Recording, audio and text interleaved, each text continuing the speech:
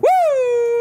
Wild Times bonus pod. Peter's still doing the thing. Patrick's Yep. still wearing the same outfit he's been wearing for three weeks straight. His winter Yeah. look. Uh, it's because it looks amazing. it it's does 90, look nice. by the way. So It's Dude, really so hot hot, out. out today. I It's was so- sunbathing. it's unpleasant.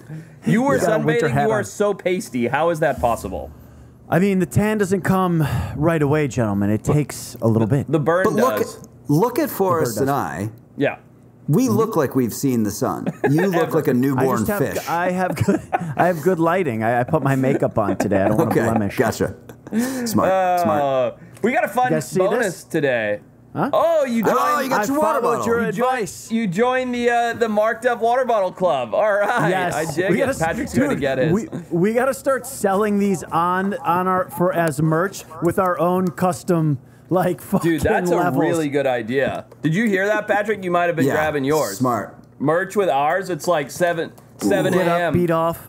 Yeah, you know, like some some really good goals for your day on your water bottle. Just real broy shit. And then, of course, here's the thing. I'm going to tell you what's going to happen. Please. We're going to launch our own Wild Times.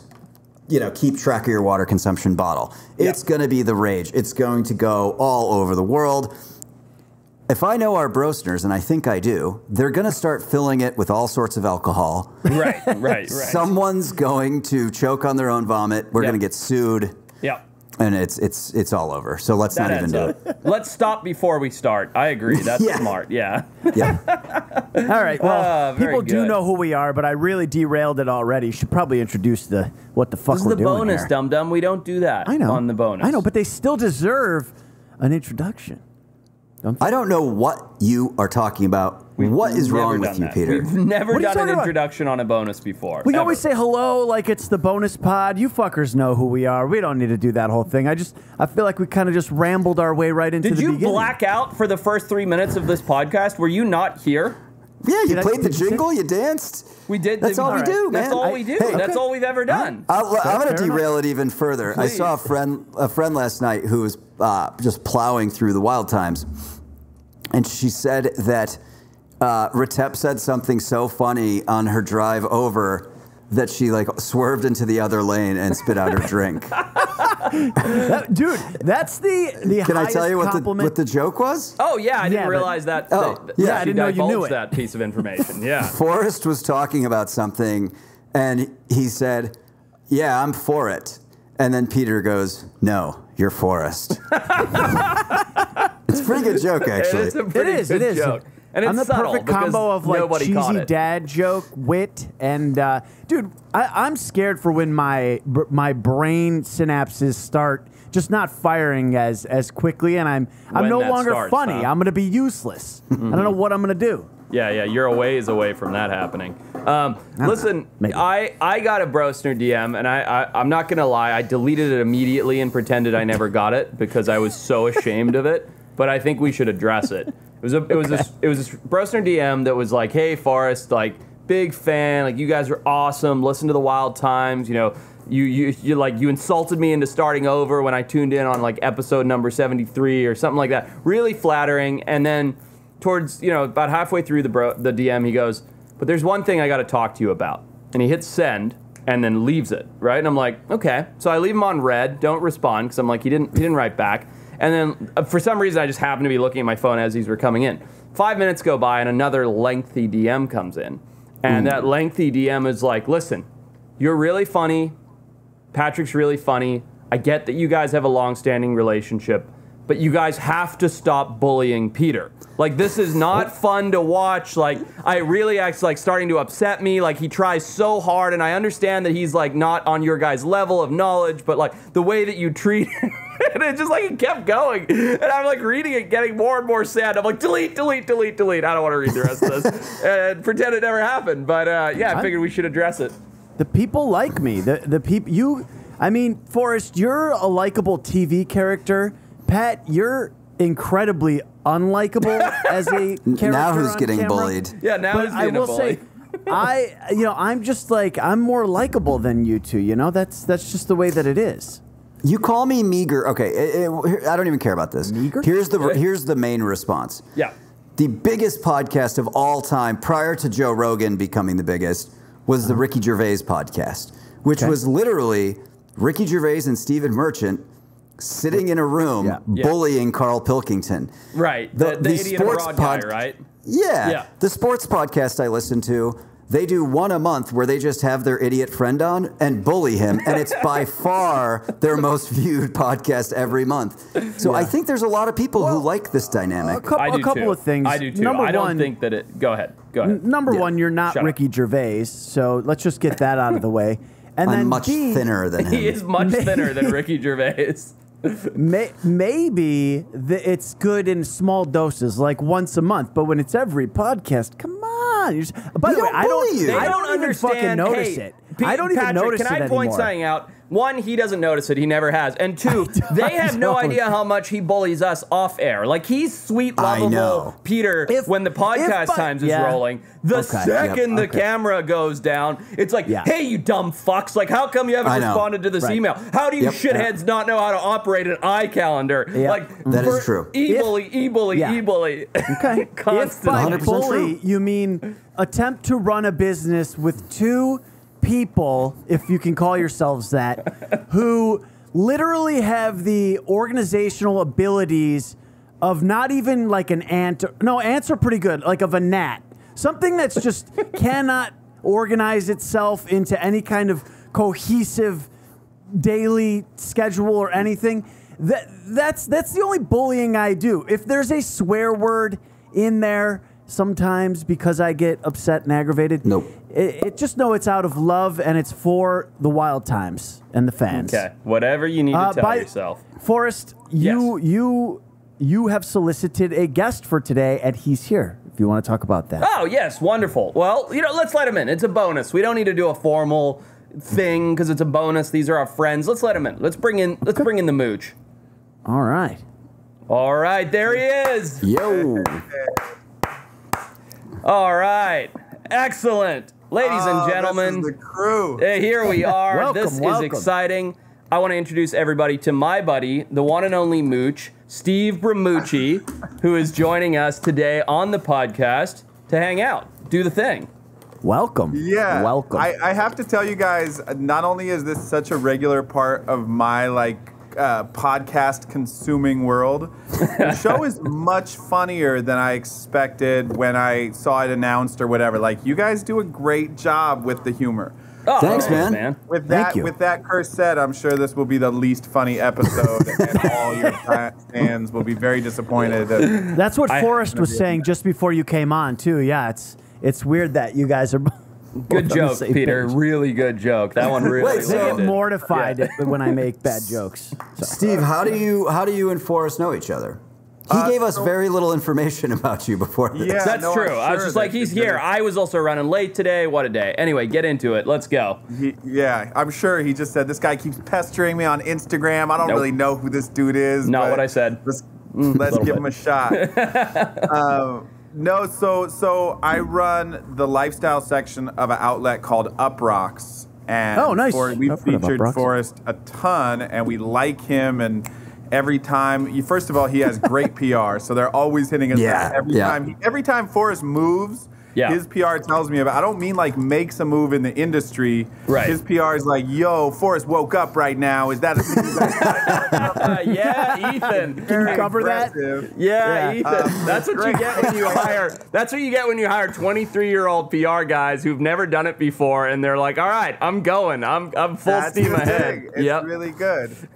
so we've covered a bunch of his stuff, and uh, I've just become such an admirer of him. And then I had a book project coming up, and as I kind of worked out the, you know, really what the book was about, I was like, you know, this is this is something that Forrest really needs to be kind of a voice for in some ways, or I at least to do my due diligence need to talk to him. So after one of our like 17 interviews that we've done with him on Uproxx, I'm sure it also sounded really random to him. I was like, "Hey, No, it's sick. I'm a children's book writer. Can I now steal an hour of your time to talk about, you know, Turtles. essentially like saving and preserving endangered species?" So, uh, Oh, cool. and he allowed me to. So now, now we're I guess we're just linked. I'm just a person who's in your guys' orbit, and I get But to we- sneak around and, and hop on your podcast sometimes. Steve and I chat all the time. We've been talking about getting him out on an adventure so he could cover, you know, what it would be like to be in the field for Uproxx and be a part of it. And That'd you be know, sick, yeah. So uh, has that book launched? Can we talk about that? It hasn't launched, but we can talk about it. I um, I got permission from my editors. The book. So I also, for those who don't know, uh, you know, I have kind of parallel careers. I do I do Uproxx, and then I also write children's books. And my first two books are really kind of bawdy, wild, uh, comical adventures of a boy whose dad gets kidnapped by pirates. And my next one is a little more serious. I grew up, as I'm sure, like truly, many of your nature loving listeners did. I grew up with ADHD, didn't really have a place to put a lot of my energy. And it took a long time, took me pretty deep into adulthood to really figure out what was going on.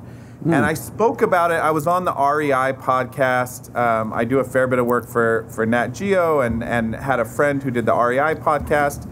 And I was on that podcast and I spoke on, she came to a school presentation that I did.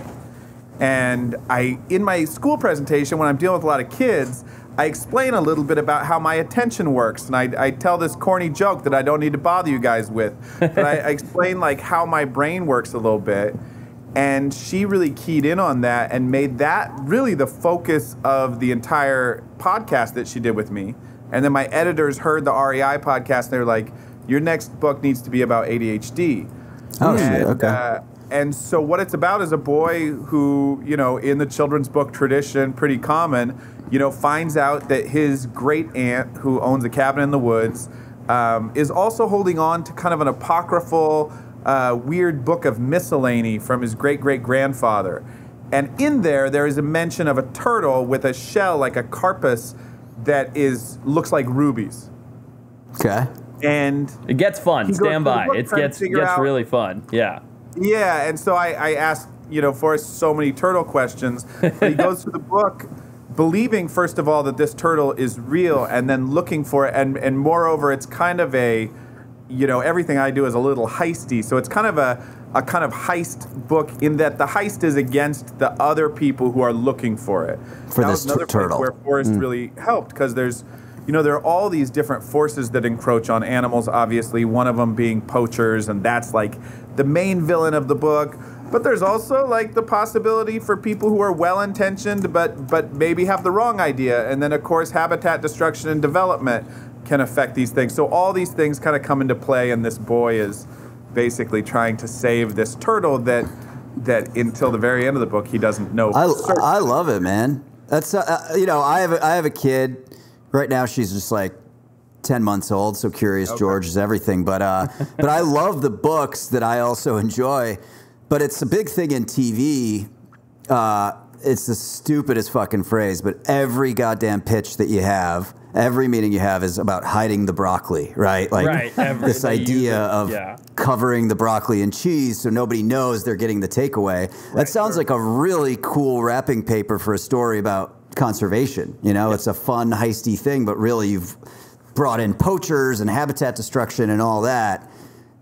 Kids are going to like kind of eh. get it without knowing that they were told about it. Exactly. And, and one thing I enjoyed, Yeah. Steve, if you don't mind me jumping in for a second, No, please. is Steve called me up and he's like, "So I got this idea, right? And it's it's not like you know Steve's a turtle expert because you have to be a real nerd for that." And he tells me basically everything that he just told us on the podcast here. And so we started drawing parallels. And Peter, maybe you can pull up a picture of this animal in a second. We started drawing parallels because he's like, you know, how does it make sense? Sometimes this turtle's on land, sometimes it's in the water, you know. And so we we had to figure out like from an ecological standpoint, or rather from the ecology of the animal, what makes sense. So we started drawing parallels to the North American wood turtle. Now, the North American wood turtle uh, is this beautiful animal. It almost does look like it is made out of rubies because it has this incredible red coloration in its skin, and it spends a lot of it's it's quite secretive.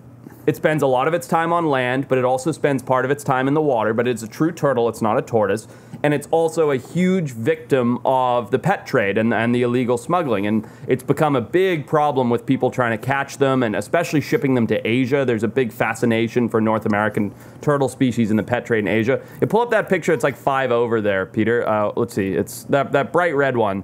Um, one over Yeah. from where you are. And you can see one? this animal looks like it's made of rubies already, which I think is fantastic. So it was really fun for me so so outside of sort of anything that I ever do when Steve came to me and said, "Can you help me figure this out?"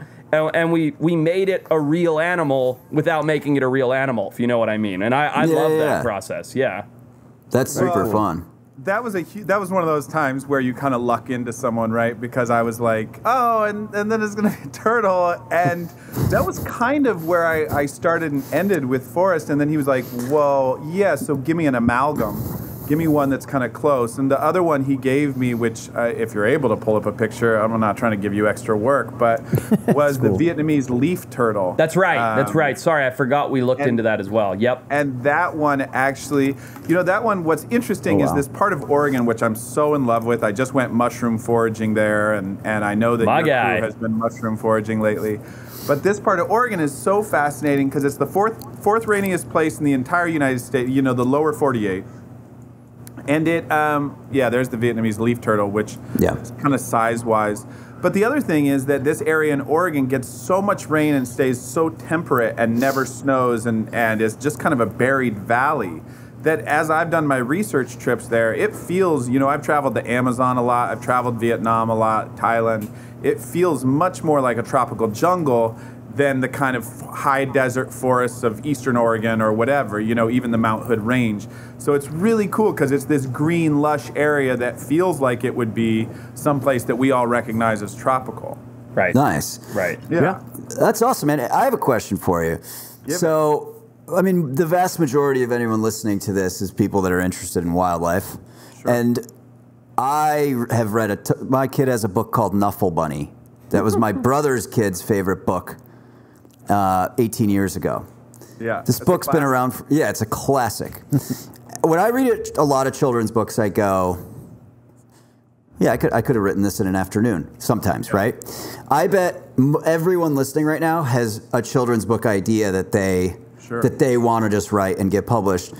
What is the? Did you? Was it because you were at Uproxx that you had a leg up? Like, what does it go from? I've got a weird idea about this kid whose dad gets abducted by pirates to you have a published book and a check in the fucking mailbox. I've written sure. three, I mean, by I'm the way, and. I just wanted to say this for the brosners that don't know this. I've written three, by the way, and I think I told you this, Steve. None of them have been able to go forward, and that's including attaching like my celebrity to it, right? And being like, Right. "Hey, I'm on TV. I'll do a kids Well, book." we're gonna we're gonna talk about that. I got I got easy fixes. You've actually sent me the proposals, and I Yeah. I can get you set straight there. Um, and There you then go. you can sell those, and we can see those on the shelf. There I you think go. have A, a story that kids want to hear, but.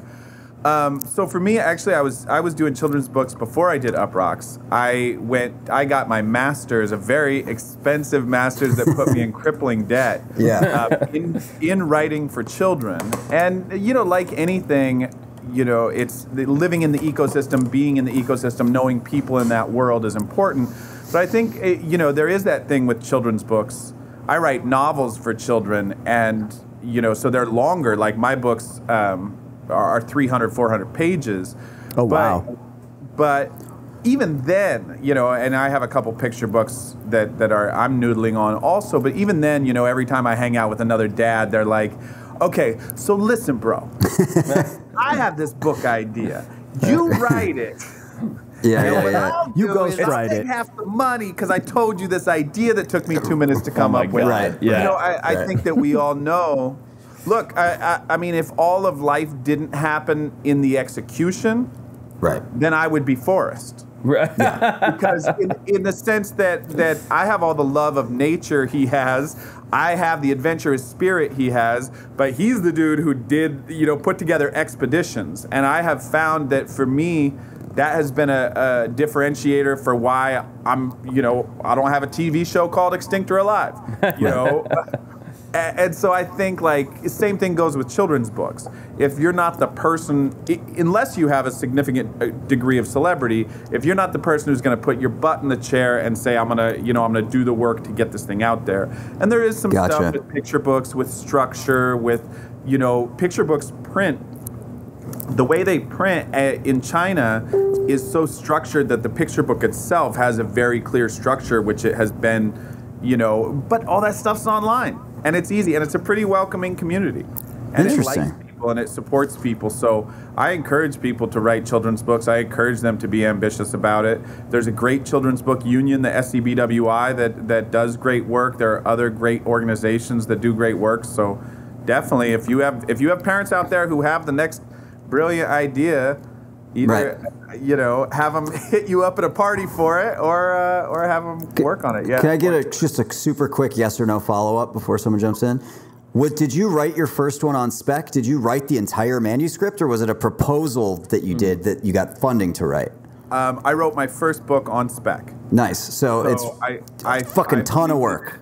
In it. Yeah. Yeah, no, I believed in it, and then my my second book was part of the deal of the first book. It was a sequel, Mm. and then my third book I wrote on proposal essentially. How, uh, let me Got ask it. you a question, Steve. How scary was that? Because Patrick and I have talked a few times about let's go out and make our own documentary, right? But nobody ever Right. makes money on those fucking things, right? And at the end of the day, it's not like we're, we're in this for the money, but if Patrick and I each sink half of our or a quarter of our life savings into going out and making our own TV show, and then we make back four and a half thousand dollars, it's like, well, that's bankrupted and crippled us for for life. So Well, also the divorce will be expensive for each of us after that. correct, correct, yeah. So, um, on that note, like, how scary was it sitting there? And I, I guess your startup costs are not the same, but how scary was it sitting there, putting in all that effort and doing all that writing on spec?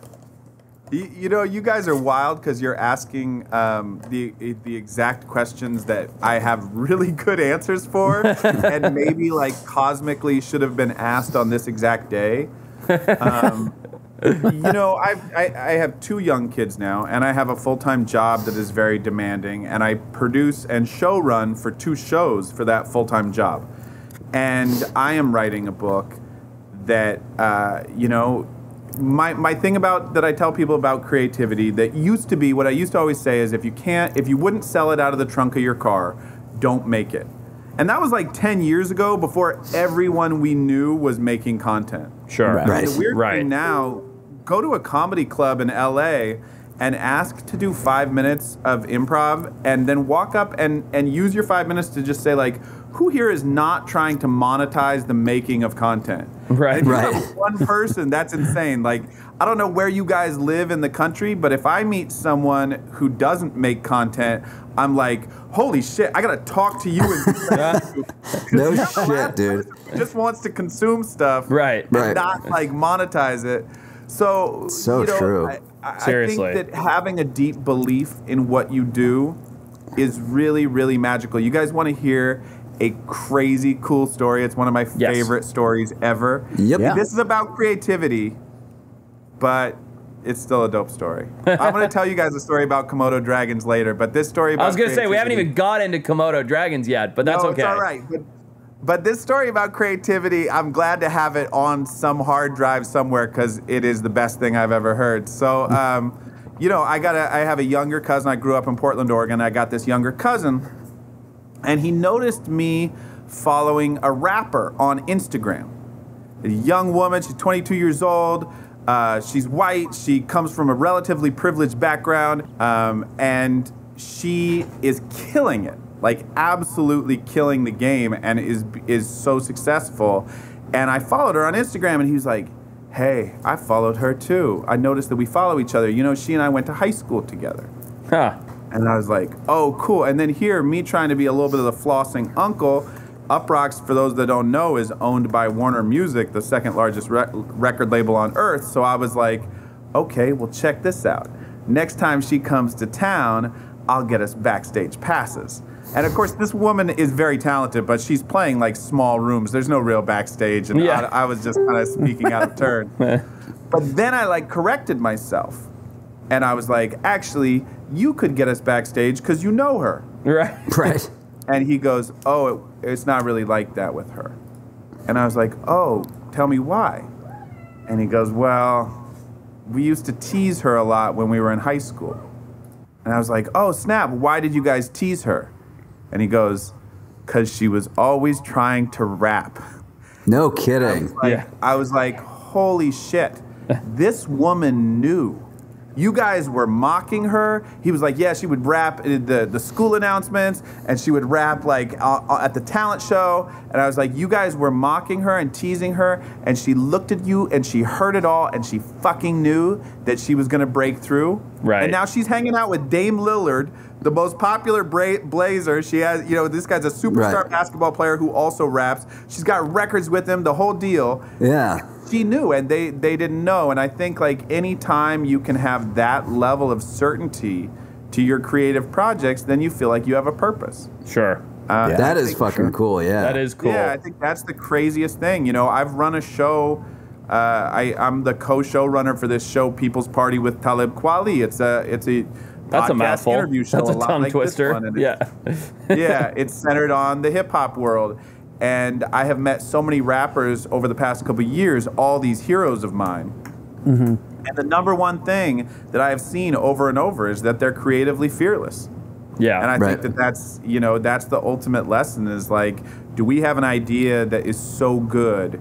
And do we know there's an audience appetite for it? Do we know that there's an audience who would be intrigued by it? And if so, then we just have to dive. yeah. What, I, what it, I'm hearing yeah. here is that Pat, uh, I should have kept going with my hip hop career after I, I sent know. you that one track, and you, I think you just laughed, and and that was it.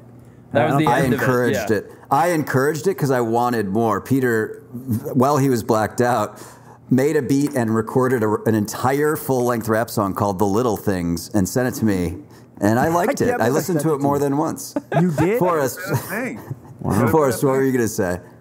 Oh, sorry. uh, That was way, way funnier than anything I was going to say. But I was just going to say, isn't it interesting to think back to that woman in high school and how many people, like, I wonder if her parents were really supportive of the rap thing Right. or not. And it doesn't really matter. But how many people go through that? And I used to get sort of made fun of because I was the animal nerd as well, right? I'd show up to school and I'd have a snake in my pocket and I'd be like, haha, this is cool. Or like, you know, a, bu- a bug would be Well, crawling on the window and everybody would be like, oh, gross, a bug. And I'd like run over and save it with a little paper cup, you know, and like take it outside. And everybody like, Forrest, fucking dork. And like all the cool, all the cool kids were like, I should have killed that spider. And it's like, yeah, well, I didn't. Um, but my point is, I was very supported by my my mom in particular, and I didn't really care. Like the teasing didn't bug me, so I just kept going with the thing I was passionate about, which was wildlife, never knowing what it would lead to.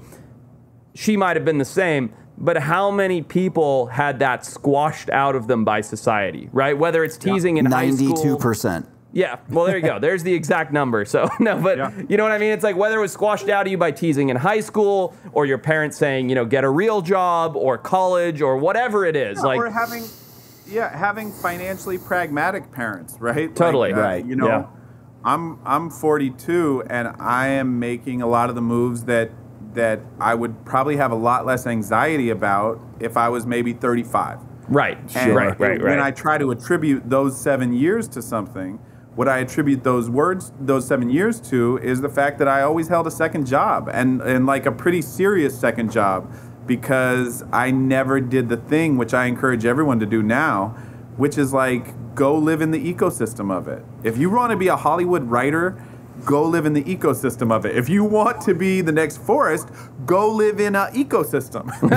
right. Literally Right. an ecosystem. Yeah. and co- you know and Right. come back and that's really all there is to it because i think like trying to do it the way i did it which is like oh i have a foot in this world but just in case i'm you know i was teaching grade school between travel writing trips you know just in case eh, eh, Yeah. i'm doing this other little thing it, it's going to slow it down and then you start to have like kids and all that stuff and then it really starts to crash together Yeah. No shit. you gotta There's have such a an- battery in your back to make it work then There's such Yeah. a in today's society too. Like imagine when we were kids, you didn't even have the internet and and all of that type of like pressure and judgment coming from you. It's like at, in one respect, you're able to create this content. You're able to connect with so many people because of social media and all these ways to do it. But at the same time, the the scrutiny is like magnified times a million percent. So like imagine Right. that. Right. Like if you, uh, growing up in that, I, it'd be hard to even imagine. Like I got made fun of by my brother,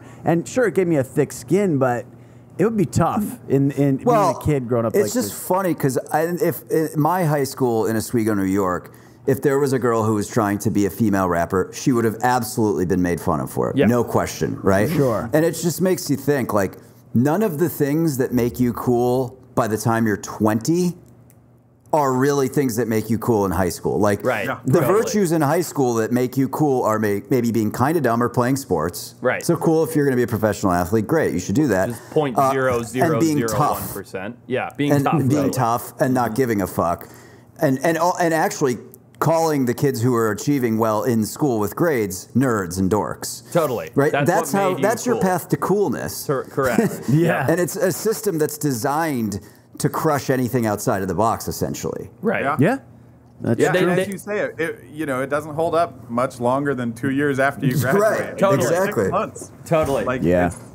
they did such a your good world. they did such a good job of uh, explaining and showing that in the 21 and 22 Jump Street movies where uh, Yeah. I don't know if you guys have seen it. Obviously you Mm-hmm. have Steve but like it's so funny because like Channing Tatum goes back to high school right? And he's like being Oh, the same high school kid he was 15 years prior or whatever. And he like shows up in his Letterman jacket and he's like you study fucking nerd. And like he's like super Yeah. cool. And then uh, you know it's like times have changed. It's like a super progressive school and they're all about like saving the environment and like don't use plastic and don't don't drive gas guzzlers yeah whatever and he ends up like being the loser for being like a, a jock athlete it's just i mean i'm explaining a movie that everybody's listening has seen but it's just like i thought it was so clever the way they did that because i'm like i don't know what high school's like now i don't know if that's how it is or if it's like if it's like when we were there i have no idea I, I have no clue either, man. Yeah. I don't know what these kids are We're so dealing out with. of touch.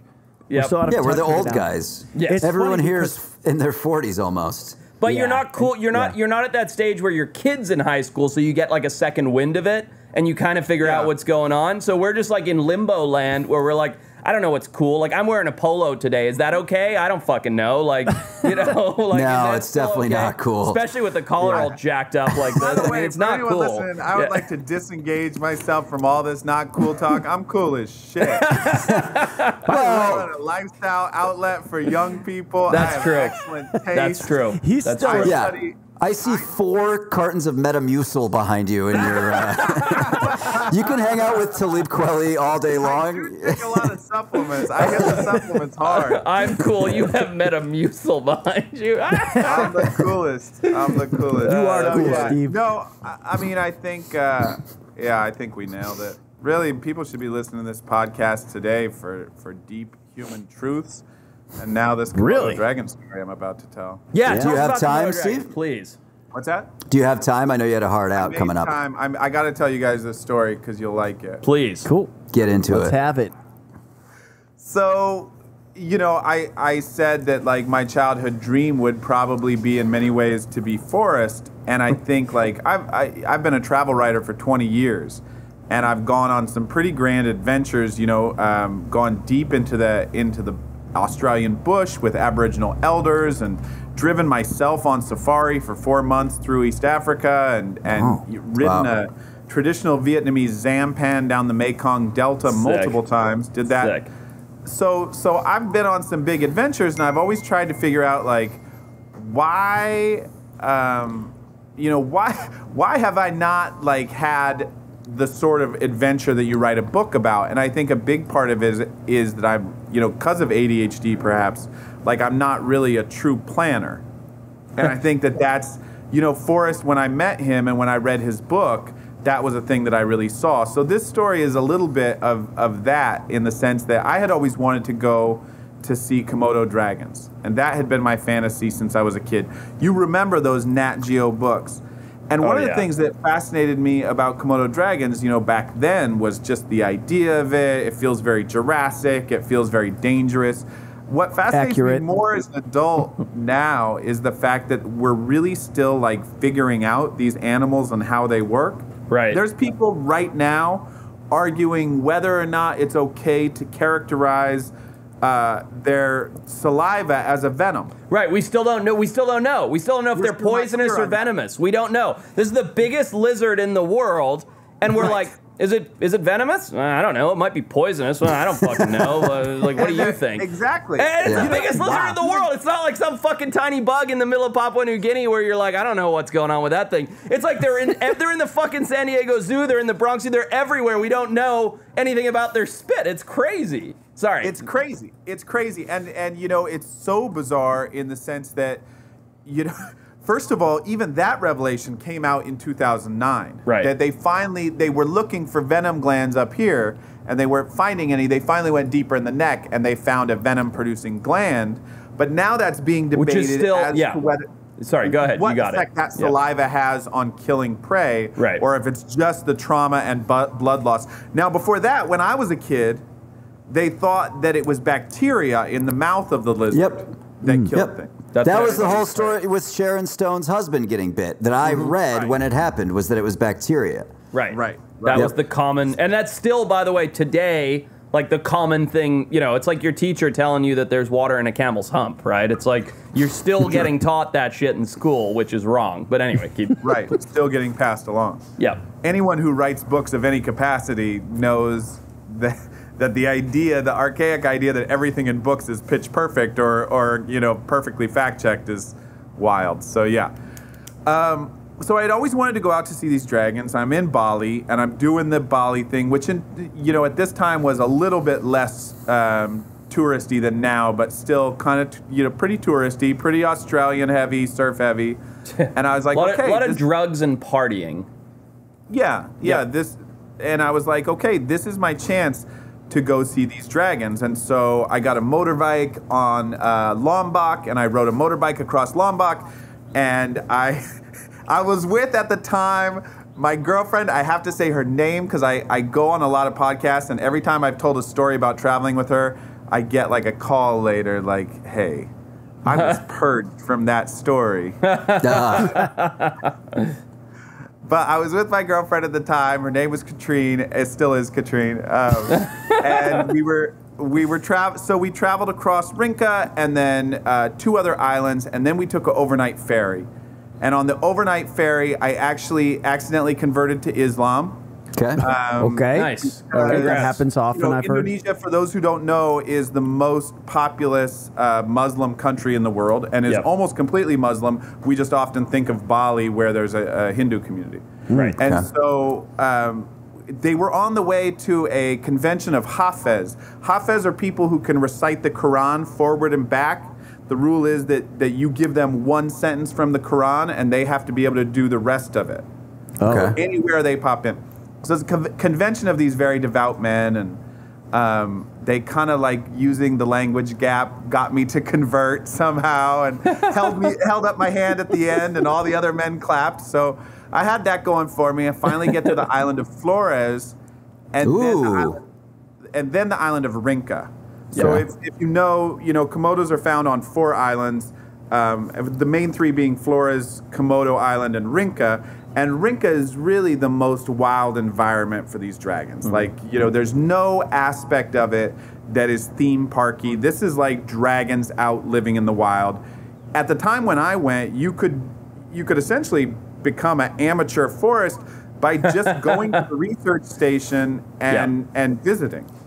And that's mm. what I did. I, I just rocked up to the research station, and they give you a stick. Yeah. And you, your your bashing time you- stick, your defense stick. Yeah.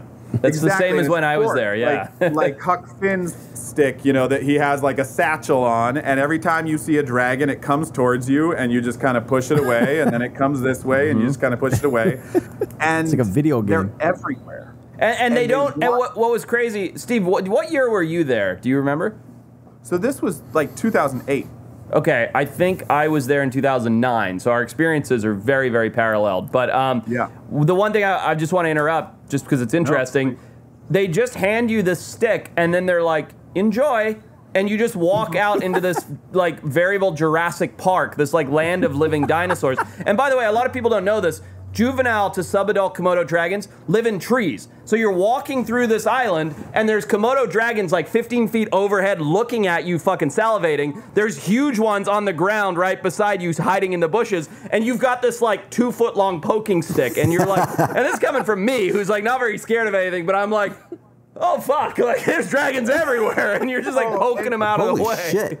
Yeah, it's crazy. They are they are really keen to kill you. Oh yeah, they're uh, coming at you. Yeah, and you're pushing them with the interested in stick. that. Yeah, same exact thing. But sorry, please so keep going. it's- I just wanted to paint that And picture. Mostly because this you're included. You know, when we talk about like venomous snakes, they don't particularly want to kill you. You're part of their defense mechanism. Right. Killing you would be part of a defense mechanism. Well, you're part of a Komo- talking about Komodo dragons who are also cannibalistic, who eat carrion, who eat like you know. They're licking they their lips actually would the love whole to time. kill you. Yep, the whole time. You're a great option for them. and so, you know, I've spent a lot of time on safari. I've I learned how to track cheetahs on foot. All these things. I've never felt a fear like this. Amazing. This was like a constant looming ominous fear. I mean, one of the wildest things is I was so keen and ramped up to spend time with them. My girlfriend, we had been traveling for eight months, and she sat on the porch of our little hut, which is elevated and she cleaned out some underwear and she had had her period and just stirring up Okay. that amount of blood Oh, made boy. the dragons come to her That is nuts. tried to attack her in the cabin Oh Yeah. my Holy god. that amount of blood Shit. They tell Yeah, you, and not that's just on a smell level, by the way. When I got there, I was wearing like a musty reddish T-shirt, like not even like a bright red T-shirt, and they're like, "Take off your shirt." So I ended up walking around Komodo Dragon shirtless because, or Komodo Island and and, and Bintang Flores shirtless because the red shirt that I had on, they're like, "You can't wear that. Like you're basically like you look yeah, like blood." right. There was pictures being taken. That's the only reason your shirt was popped up. Truth, but Yeah. um, I And wish the I had guys more who work pictures. there i mean they tell truly the best stories that i've ever heard because they would tell you these stories that would just kind of ramp up your fear factor. I remember one of them they were like oh there's a teacher a local teacher. And he um, you know he was looking for some honey up in the trees. And while he was looking for honey then a dragon bit his leg. And the story's kind of getting told through a language barrier and you're like okay wild. Then what happened Right. and and the guys kind of look at each other and shrug and go he found a very nice cane and that's the end of the story you know or there was another guy they were like oh you know one of our guides got bit but it was no big deal it was just by a tiny dragon and I was like, oh, what do you mean? They were like, well, it was a baby. It was this big. He fell asleep smoking a cigarette in the guide hut and, and he got bit. And I was like, okay, what happened? And they're like, well, he's still in hospital. We'll see how it goes. Right, And I was like, right. oh, when did he got get bit? And they go, 14 months ago. yeah. Holy shit, dude. I, By I, a I should baby. explain. I might have some pictures that I can send you, Peter, and, and we can share it along with this. And I'm sure you do, Steve. So you should send have us a over bunch. some. But these huts that Steve's talking about, like where the ranger station is and stuff, they these animals are habituated to people as well, especially around the huts. Once you get out, it's a different feeling. But you are literally like walk like weaving through these like 12 foot long dinosaurs and the biggest density and concentration of them is around all the living and human quarters. Like there's like a dozen of them and it's like if you just like had three beers and you're like i'm gonna go over to steve's hut and hang out and have a beer with him and it's like sunset you would walk out and trip over a fucking dragon trying to get to Steve's hut, which is like where my car is parked, which I can see from here. You know what I mean? It's just like Wow. they're fuck. It's like a landmine. It's crazy, but so cool. That's crazy. It- Yeah. It's the wildest thing. I mean, the one of the funniest things that I've ever seen, and I've traveled to you know sixty some countries and been a travel writer for twenty years. Seen a, seen a few things in this world, but the, there's a game that men play in Indonesia. It's essentially like volleyball, but it's with the feet. And these guys were playing it on really rough. The guides were playing it on very rough, uneven ground.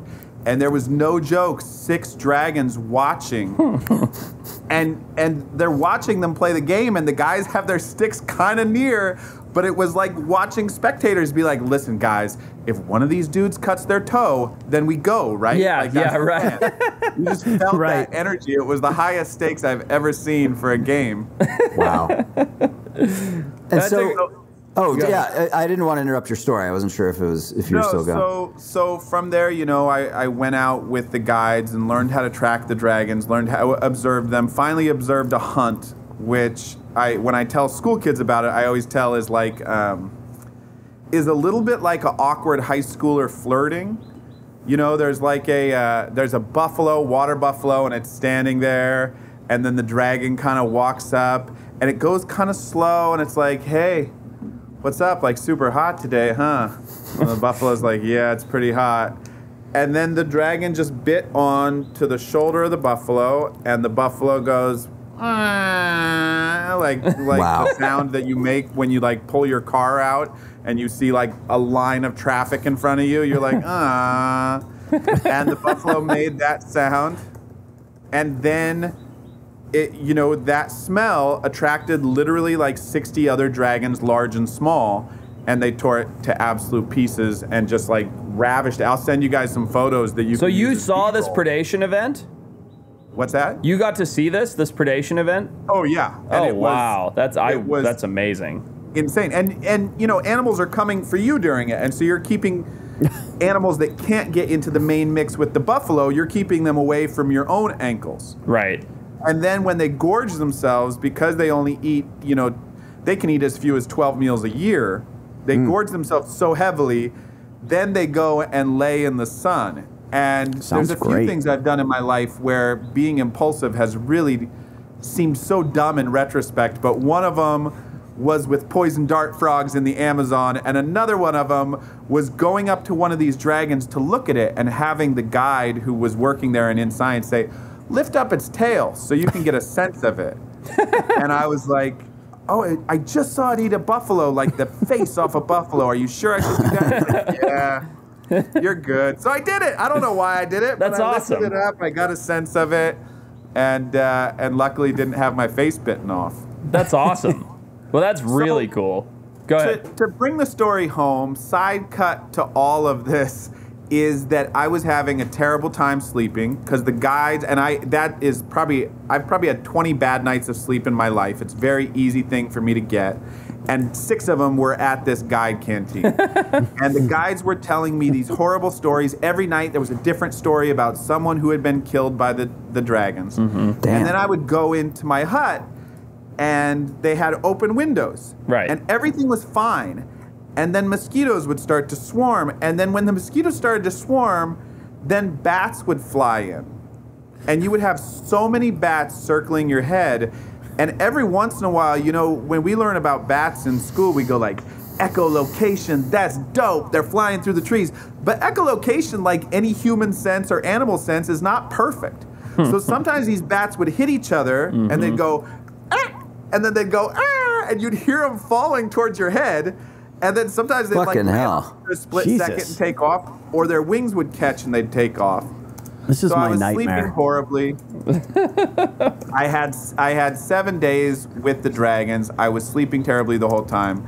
Finally, on the seventh day, the day we're supposed to take off, I walk out on this dock, and I put my stick down. I dive in the dock a few times, and I read a book. I'm like, I'm just gonna read my book, and this is how they get you. Because one of the stories they told me was about a Dutch photographer who fell asleep next to a tree, and I was like, what happened with him? Mm-hmm. I know that story. They yep. were like, I w- they were like, well, guess what? I was like, what? They found the photos. Oh Not shit. the guy. right. They That's found his so- camera. Shit. Yeah. Yeah, they found his camera.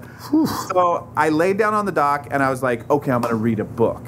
And I've been using this trick ever since I was a kid. I was like, watch this. I'm gonna read one page, and then I was like, oh, what would be really effective? I'll read this page like this, and then I'll flip and I'll read this page like this. I'll kind of have my head down on the dock. and of course, before I get through through three lines, it's sunny out, and I fall asleep. Uh oh. There, and this is why I'm not like Forrest. Like I'm not quite as analytical and dialed in. Luckily, you know, I've made so many mistakes in my life and not listened to that little ping that you get like at the at the base of your neck so many times. But I just felt that ping, and my spidey senses went up, and I popped to my feet, and there was a dragon coming towards me past my stick and it was walking towards me, and its jaws were just dripping that drool that Oh they my have, God. Mm-hmm. and it looks They're like they're. I should just mention that for, for everybody listening. They're frothing like the whole time looking at you, Truly. like the way your dog is, like right when you put the food in his bowl before you put the food down. That's what Komodo Right. dragons are doing while they're watching you. It's crazy. Like you see the saliva and froth around their mouths the whole time which adds to the whole feeling, by the way. But I just wanted to explain that so people know it's like crazy. No, that's absolutely it. Uh, it's frothing. It's coming towards me. I'm terrified. Jump in the water. Of course. Leave the book for the dragon. Dragons can supposedly swim. Get over to a boat. they have a stick on the boat. I'm able to eventually hop back on the dock. Um, How close was he to you, that dragon? I was reading. I was. I always say I was reading, uh, which is true. I mean, I was reading um, the collected Sherlock Holmes, and I always tell kids that if they find a dragon who seems to know a lot about mysteries, that was the one. Um, he by by the time I jumped off the dock, he was within three feet. Like I, it was Oh, the wow. end of the video game. oh wow. Jeez. Yeah, it was. It was terrifying. So Wild. I got incredibly lucky, and uh, yeah, that's. Well, we're that's- happy you're you here go. today There's- with There's us. the Komodo dragon story I was itching to tell Forrest. That's awesome, dude. That's That is fu- that's that's a wild story, dude. That's Your- really cool. Your story, everything about your Komodo dragon experience is 10x better than mine, and I'll tell you why. It's it's not just because I'm jealous you got to see a predation event, you had a near run-in, you got to lift one's tail up. I, and you might have read this in my book, Steve, poisoned myself with fire coral two days before I went to Komodo, and Right. um, was sick as shit and spent the whole day throwing up on something that had been a lifelong dream of mine to see and do, which was see these dragons. And I felt like death warmed up all day long. And it, I think the dragons knew because I had similar experience with holding the stick and them sort of chasing me around all day long.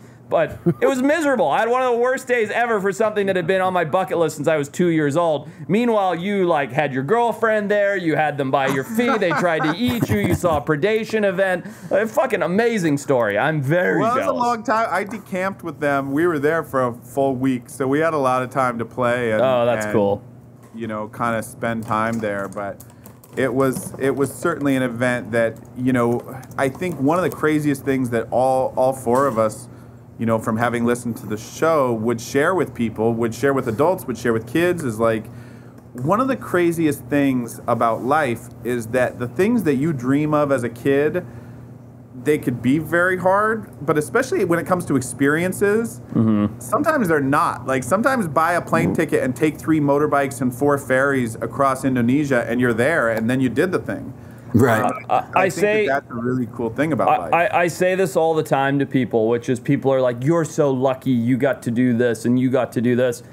When I made I made those decisions to do those things, right? While other people had a car, I didn't have a car because I saved that money to go to Komodo and go to Australia and see the things that were important to me. While other people had a, had you know all these material items and this job and that, I made the choice and decision to go and see these things because that was more important to me than having a car, right? Or than than doing some of these things. And so I think one thing I always tell people is everybody thinks, "Oh, you're so lucky. Like this, these are such unobtainable things." Of course, some of them are, right? Now that I've I'm 10 years, 20 years down. yeah, the- now the that you have foot two. Rolls Royces, yeah. Right, right, right. But those are, you know, those are only my sidecars. But some of those things are unobtainable. But it not nothing that you, weekend automobiles. right. Nothing you want to do in the wildlife space, no adventure, no travel is unobtainable to anybody that lives in the United States. If you can afford to get your Starbucks, if you can afford to own a car, uh, you can afford to do these things that we're talking about. It just has to be a priority for you. And I I don't know. I get so annoyed when people go with, "Oh, must be nice, so lucky," and I'm like, "No, I made these choices to get into these scenarios. Like you can too. Anybody can do it." I consider it luck that you're just even alive. That's that's what I can. Why I That's a consider whole you nother lucky. conversation. Yeah. Did, did either of you guys make it to Flores Island when you were there? That's I've always Yeah. thought that was a really I did make it fascinating place. Flores, yeah. yeah, we Is there stayed a on lot of- Bintang Flores. Did you get into the bush? Like, did you get into the jungle much? Uh, I did, yeah. I don't know if I've ever told this story on the podcast or if I, I can't remember if I wrote about it on my book or not. But on our last day there, that was where I got jabbed in the butt from the fire coral burn and this Ah, little okay. like hut and everything. The one story that I didn't tell, though, uh, I don't, don't remember if I wrote about this in my book or not, but um, one of my other lifelong reptilian dreams was to catch a big reticulated python, and they only occur in that part of the world. And I've caught anacondas, I've caught African rock pythons, I've seen a, I've caught a bunch of the Australian species, but I've never caught a big reticulated python. So I was telling this local guy about this reticulated python dream of mine because I was in the area and I'd constantly be, lo- be looking. Now we had a flight out of Bintang Flores at like 3 p.m. and on the last night the guy says to me he's like, "Well, there's like Fluffy, the the reticulated python that lives outside the village in the cave that everybody knows about." And I'm like, "Wait, what?" And he's like, "It's huge. It's it's 25 feet long, which it wasn't, you know, I assume, but um, it. Uh, I'm like, big. well, we have to go there." And he's like, "Well, your flight's at three. You know, you have to be there two hours before, and you have to get to you have to it takes an hour to get to the airport. Blah blah." blah. I'm like, "I don't care. I have to go." So we wake up pre dawn because we're out of time. He drives me to the middle of nowhere. We hike in the bush uh, for about an hour and a half, and we get to the mouth of this gigantic cave. Have I told this story before on the pod? I, I don't remember. No? Don't know. You're too deep in to stop now. Yeah, keep going. Yeah. I'm loving it. He just stop. So I get I get to the yeah at the end. I get to the mouth of this gigantic cave. Okay, and it, it- and I say to the guide who was with us, I can't remember his name anymore. I'm like, let's go inside, and he's like, oh no no no no, like I'm not going in there. And I'm like, what do you mean? He's like.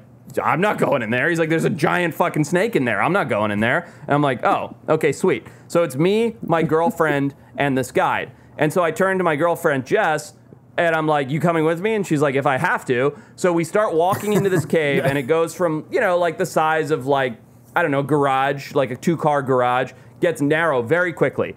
And as you go in and it narrows, we start off, and your boots are like, you know, an inch deep in guano because there's bats everywhere, which, by the way, reticulated pythons eat. So I'm like, that makes sense. And as you keep stepping in, the guano keeps rising up. And all of a sudden, our, our shoes are flooded with bat shit. And then it's up to our knees. And it gets to about Jessica's knees, and she's like, I'm out. She's like, I, I, I don't even like this big snake thing. The, the, the guy who lives here says we shouldn't be in here. I'm out. She's like, I'm covered in fucking bat shit and I have to be at the airport in an hour and a half. I'm out. So I'm like, great, I'll keep going.